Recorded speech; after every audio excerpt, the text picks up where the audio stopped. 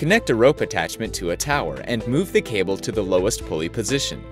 Stand with your side to the cable with a wide stance and grab the rope with both hands. Twist your body away from the pulley as you bring the rope over your shoulder like you're performing a judo flip.